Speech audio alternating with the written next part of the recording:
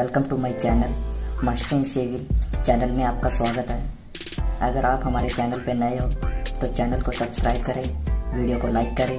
अगर वीडियो पसंद आए तो वीडियो को शेयर करें। चलो, वीडियो को शुरू करते हैं। जो हमारी पहली चेक लिस्ट है, वो वो है गुनिया। नाम तो सुना ही होगा आपने गुनिया। इसमें चेक करें कि जो ये वॉल है ये इस वॉल पे एग्जैक्ट परपेंडिकुलर है अक नहीं। इसके लिए हम क्या करेंगे?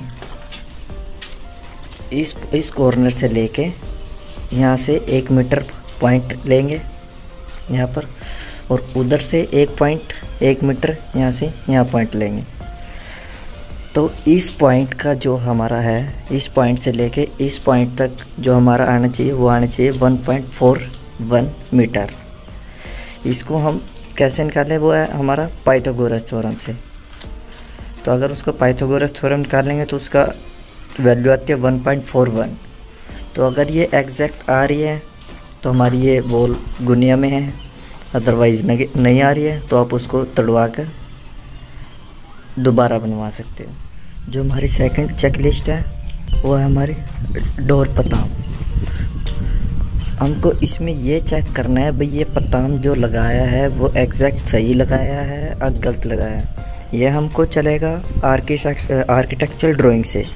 उसमें दिया होता है, भाई हमारा डोर किस तरफ़ से ओपन होगा? तो इसमें हमको ये चेक करना है, भाई ये पताम किस तरफ़ लगेगा, इस तरफ़ लगेगा या इस तरफ़ लगेगा? तो उसमें दिखाया होगा भाई डोर अंदर की तरफ़ है तो ये पताम इधर लगा हुआ तो इसके अंदर ये हमारा अंदर की तरफ़ खुलेगा तो ये पताम हमने सही लगवाया हुआ है। तो ये भी ज़रूरी है, चेक भाई, मिस्त्री ने ये पताम सही लगवाया है या नहीं लगाया है। क्या होता है, जल्दबाजी में वो डोर को उल्टा लगा देते हैं, फिर बाद में पता चलता है, ये पताम भाई गलत लगा हुआ फिर उसको आप तोड़वाओगे और फिर दोबारा से लगाना पड़ता है। ये हमारा मेन डोर जिसमें डबल पताम को होता है। मेन डोर में हम इसे डबल पताम को होते हैं। एक लगा देते हैं हम जाली वाला दरवाज़ा और एक अंदर लगा देते हैं वुड वाला। ये हमारा main door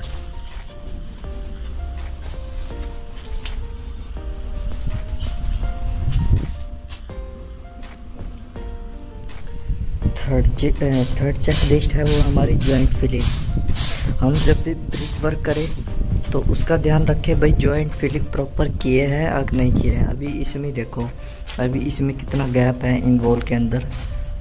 ये देखो।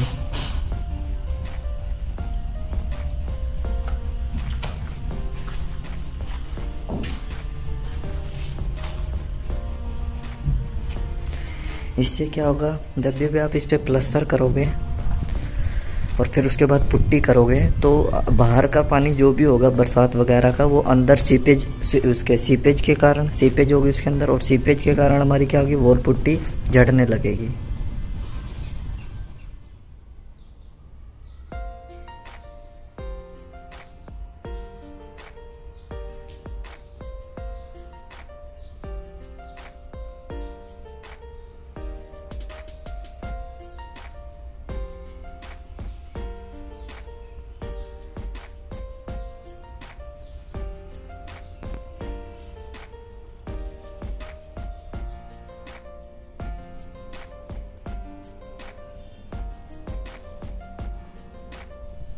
फोर्थ चेक लिस्ट हमारी ये है, जब भी हम कॉलम के सरफेस से ब्रिक वर्क करें तो उस कॉलम को हमें हैकिंग कर लेनी चाहिए, जिसको टाचा बोलते हैं। उसको प्रॉपर हैकिंग करके और उस पर फिर मसाला लगा के फिर देन ब्रिक वर्क करें। तो उससे क्या होगा प्रॉपर बॉन्डिंग बनेगी और प्लस्तर में क्रैक आने के चांसेस कम रहेंगे। फिफ्थ चेक लिस्ट हमारी ये है जो सी ये वॉल है, ये वॉल इस वॉल के पैरेलल है, अक नहीं है।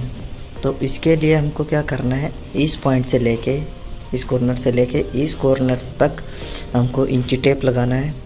और देखना है कितना है, इतना ही हमारा पीछे एक इंची टेप लगा के और उस लास्ट कॉर्नर पे हमको लगाना है। तो इन दोनों का बराबर आना चाहिए।